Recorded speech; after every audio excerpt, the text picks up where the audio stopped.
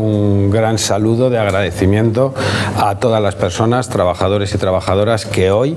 con esta impresionante ola de calor, van a continuar trabajando por cuidarnos, por sacar adelante eh, la sociedad en condiciones muy difíciles. Afortunadamente, desde que se aprobó el decreto de medidas especiales respecto a la sequía, eh, por indicación y propuesta del Ministerio de Trabajo, que dirige la compañera Yolanda, Yolanda Se han incorporado medidas específicas para que el trabajo de tantos sectores que mantienen nuestro país, que sacan adelante la vida cotidiana en situaciones de alarma de emergencia por ola de calor, como es el caso de hoy, por ejemplo, puedan realizar su trabajo, pero lo puedan realizar en condiciones dignas, preservando su salud, eh, limitando el trabajo en los horarios más difíciles, más complicados, más peligrosos para la salud. Y quiero recordarlo porque creo que debemos mucho a todas estas personas, pero también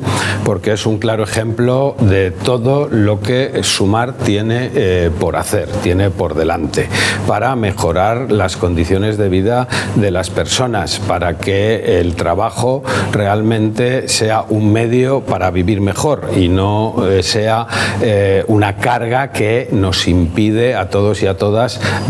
dignamente y vivir en las mejores condiciones. Queríamos por eso hablarles de la propuesta de una normativa eh, de eh, reorganización de eh, los horarios de trabajo